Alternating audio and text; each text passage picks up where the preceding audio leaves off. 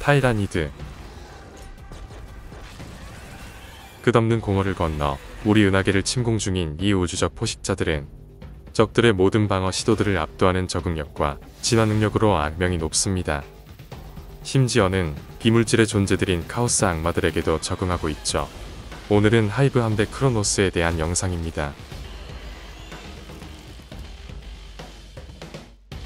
타이라니드 종족의 불가사의한 게슈탈트 지성체, 즉 hive mind는 대균열 탄생과 함께 은하계를 뒤덮은 워프 폭풍들에 적응해야 했습니다. 카오스의 에너지는 불안정하고 또한 비물질적인 것이라 흡수 불가능하기에 hive mind 입장에서 워프 폭풍들로 뒤덮인 지금의 은하계는 재앙이었죠. 그리하여 하이브 함대 크로노스가 은하간 공허에서 새롭게 나타나며 현재 은하계를 반으로 가른 대균열을 따라 은하 중심부로 올라오고 있습니다. 하이브 함대 크로노스는 흑색과 적색의 각각 색상을 지니고 있으며 인류가 발견한 이들의 가장 큰 특징은 악마 및 카오스에 맞춘 적응 능력입니다. 크로노스 함대가 우주 주변에서 방출하는 워프의 그림자는 특히 밀도가 높으며 행성 지표면 침공 시에도 공허 에너지의 파동이 숨막힐 정도로 진합니다. 덕분에 크로노스 함대가 침공하면 psyker들은 특히 끔찍한 고통을 겪으며 본격적인 침공 전부터 악마들은 마치 촛불처럼 흔들리며 흐려지죠. 전투 또한 카오스의 적들이 보통 근거리 전투에서 힘을 얻기 때문에 이들은 근거리를 피하고 원거리로 적을 박멸하는 효율적인 방법을 주로 택하죠. 아직까지 하이브 함대 크로노스는 신생의 하이브 함대로 레비아탄 함대의 거대한 촉수들을 따라다니며 성장에 집중하는 듯이 보입니다. 외계학자들은 하이브 함대 레비아탄의 촉수들이 이동 경로를 바꾸면서 행성들을 크로노스에게 양보하여 이들을 성장시키고 있다고 추측하고 있죠. 현재 이들은 현실 우주에서 어프 균열이 발생할 가능성이 높은 지역들에 나타나 해당 지역들을 특유의 강력한 psychic 아우라로 공허하게 말려버리고 있습니다.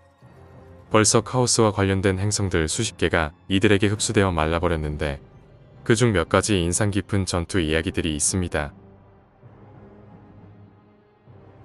늑대머리의 전투 늑대머리 성운에서 제국 해군 제독 크로슨이 이끄는 제국 함대가 카오스 함대와 전투를 치르는 와중에 크로노스 함대의 촉수가 나타났습니다. 크로노스의 생체 함선들은 뜻밖에도 제국 함대는 그대로 방치하고 대신 카오스 함대만 맹렬히 공격하여 그들의 디스포일러급 기함까지 격침합니다.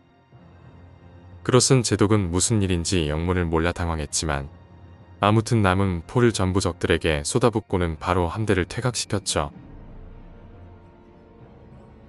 섀도우 블링크 2차 전쟁 대균열 직후 범람하는 카오스 에너지로 인해 과거 하이브 함대 레비아탄과 대규모 악마 침공이 충돌했던 행성 섀도우 블링크의 악마들이 다시 나타났습니다. 이에 워프 파동을 감지한 하이브 함대 크로노스가 섀도우 블링크로 접근하며 곧바로 행성 지 표면의 8개 워프 중심지에 대규모 포자 공습을 쏟아냈죠. 첫 번째 타이라니드 침공 물결에서 강력한 psychic 괴물종인 말레셉터들과 조안스로프들이 선두에서 끝없는 타이라니드 무리들을 이끌었습니다. 강력한 블러드써스터들이 이끄는 코른의 악마들이 피를 갈망하며 달려들었지만 타이라니드 무리들은 악마들과의 충돌을 피하며 그들을 유인했습니다. psychic 괴물들의 조종 아래 원거리 생체 무기로 무장한 타이라니드 무리들은 플래시 보어러 갑충과 수많은 생체 대포들로 포격을 쏟아내며 근접전을 피했고 균열에서 끝없이 쏟아지는 블러드 레터들과 심지어 블러드써스터들조차도 하늘을 검게 물들 정도로 쉴 새 없이 쏟아지는 생체 탄막들에 부셔져 나갔죠. 피에 미친 코른의 악마들이 막대한 피해를 감수하며 폭격을 뚫고 돌진했지만 타이라니드들을 죽여도 나오는 건 피 대신 역겨운 점액과 산성뿐이었습니다. 또한 막대한 밀도의 워프의 그림자가 현실 우주의 균열을 메우기 시작하자 악마들은 치열한 저항조차 무의미하게 결국 모두 워프로 퇴출되었습니다. 이처럼 크로노스 함대는 은하계라는 오염된 살덩어리에 곪아버린 워프 폭풍이라는 썩은 살점을 뜯어먹는 우주적 구더기처럼 움직이고 있습니다. 그러나 사실은 크로노스 외에도 거의 모든 하이브 함대들이 대균열 이후 psychic 적들에 대해 더 효율적으로 진화하고 있습니다. 강력한 워프의 그림자를 전장에 발산하고 강화시키는 뉴로타이런트와 뉴로건트, psychic 공포를 발산하여 희생자를 무력화시키는 뉴로릭터.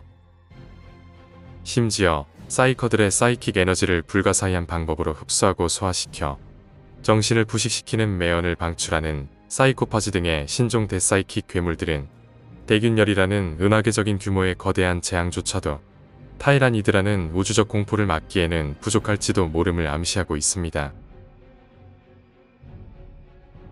앞으로 어떤 더 끔찍하고 기괴한 타이라니드 대psychic 괴물이 전장에 나타날지는 오직 황제폐하만이 아실 수 있을 것입니다.